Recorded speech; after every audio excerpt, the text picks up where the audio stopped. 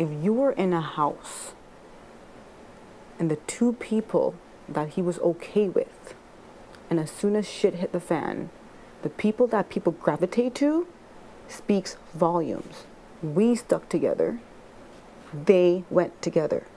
Kevin and William went together for a bit, which tells you that that Kevin does like you. Mm-hmm. He does. Mm-hmm.